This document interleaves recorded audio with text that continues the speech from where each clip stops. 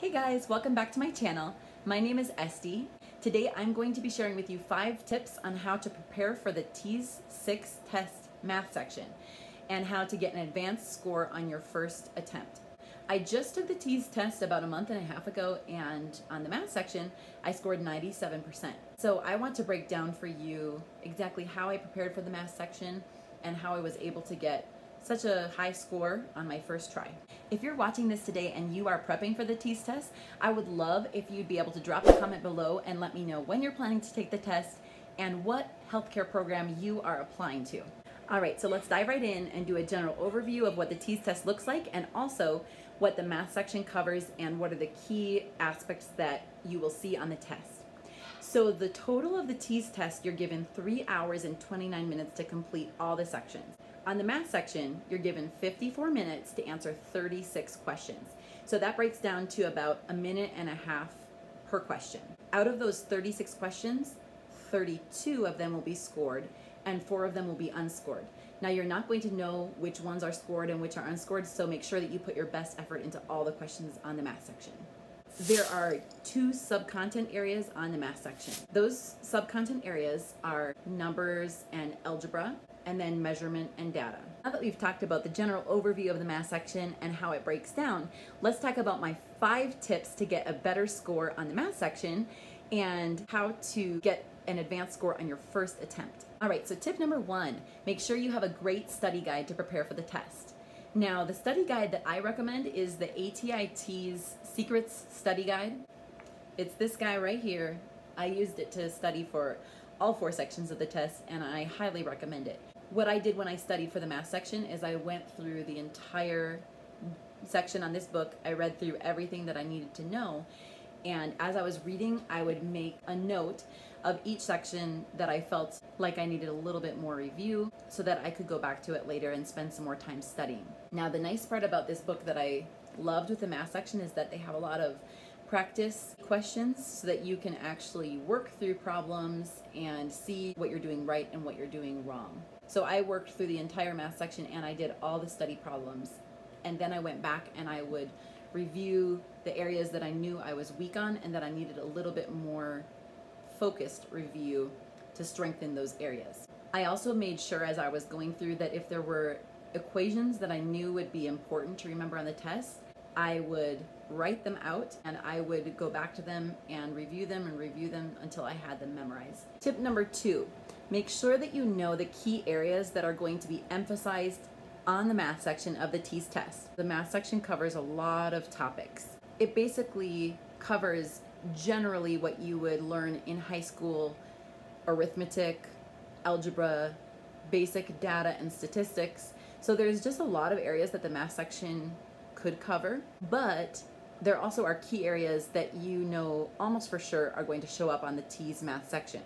So a few of these things that you should make sure that you really know and that you kind of hone your studies in on are the order of operations. Make sure you have memorized the order of operations when you are doing an equation.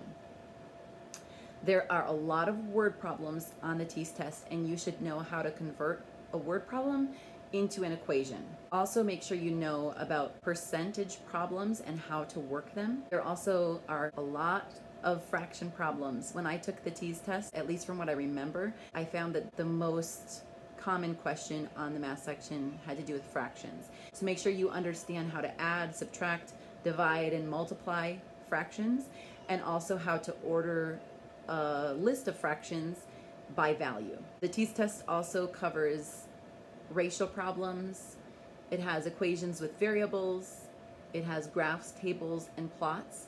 Make sure you know how to read graphs and tables. It covers basic geometry, and so make sure that you understand how to find area and volume of a variety of different shapes and objects. And so all of these are kind of all at a basic high school level, but there are quite a few topics that are likely to show up on the math section, and those are some of them. So make sure that you really focus your studies on the problem areas for you, and then also on these key areas that will likely show up on the test. Union Test Prep also has a really helpful list of all of the math topics that are helpful to know for the TEAS test. So I've linked that below, and I found that list very helpful in knowing how to organize my math studies. Tip number three is to make sure that you take practice tests until you feel really good about the score that you've gotten. This might seem a little bit simple, but it's easy to kind of gloss over all the topics and then want to just quickly go take the test, get it over with.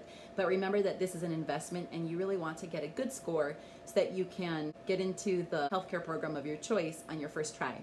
The study guide that I mentioned earlier does have several practice tests and so that's one of the other reasons why I love this study guide is that it's all in one.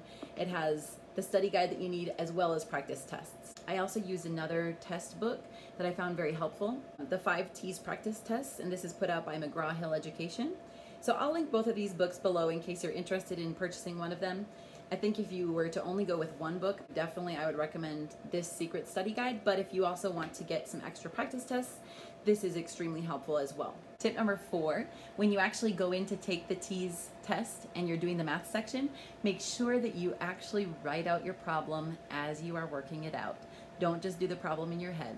And maybe this is more a personal thing, but I found that if I just worked the problem out in my head, even if it seemed really simple, there were a lot of times where I would miss an important step or I would come to the wrong conclusion just because of one little mistake that I made.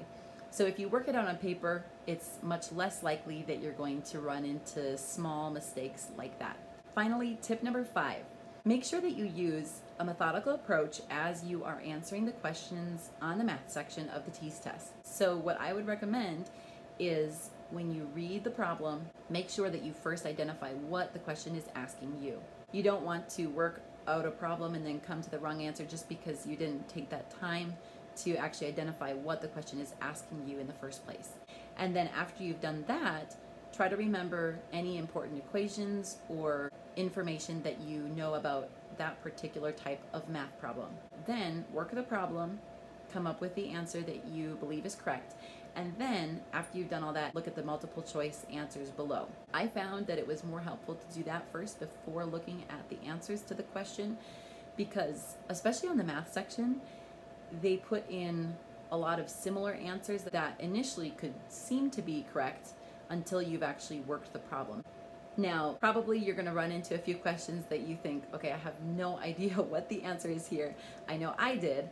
And what I did for those questions is I would follow that same approach. First, I would identify what the question actually was asking me, and then I would try to remember any information I knew about that type of problem. If I still had no idea what the answer might be, I would look at the multiple choice answers and I would eliminate all the answers that I knew were wrong first. And then that would leave me with a couple options and from those you know two or three possibilities I would try to narrow it down to what was the most likely option. So even if you're completely stumped on the answer to a question, make sure that you answer every single question Try to eliminate any wrong answers that there are and then make an educated guess on what you think is the right answer. Because at least you will have a chance of getting the answer correct and of boosting your score a little bit more. If you guys enjoyed this video, go ahead and let me know in the comments below. I also have some other videos on taking the ATI TEAS 6 test as a whole, as well as on the science section of the TEAS test, where I've given a free download for all my science flashcards. So go ahead and check out those videos as well. If you would like to see future videos specifically on the TEAS test reading section or on the English language and usage section, also go ahead and leave a comment below letting me know. And you can like this video, subscribe to my channel for more content similar to this.